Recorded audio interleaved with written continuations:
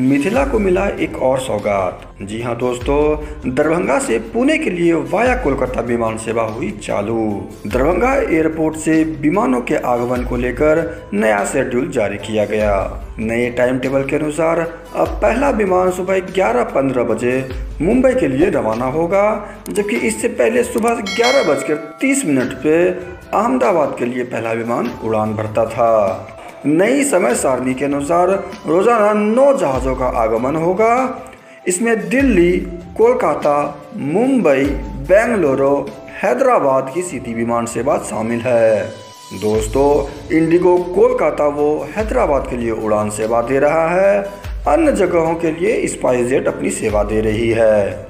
सभी रूट पर विमानों का संचालन सातों दिन होगा। Spice jet Darbhanga via Kolkata Pune के लिए सीधी विमान सेवा सप्ताह में मंगलवार, गुरुवार व शनिवार को सुचारू रूप से चलने वाली है।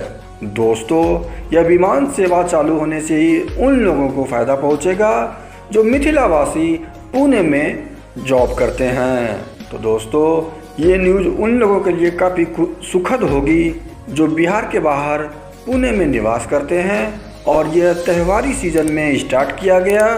ताकि जो भी लोग बाहर में रहते हैं, वो अपने घर त्यौहार के सीज़न में आ सके। तो दोस्तों, ये छोटी सी अपडेट आपको कैसी लगी? आप हमें कमेंट ज़रूर करें और ऐसे ही लेटेस्ट न्यूज़ के लिए चैनल को सब्सक्राइब कर लें वीडियो को लाइक करें और शेयर भी करना ना भूलें।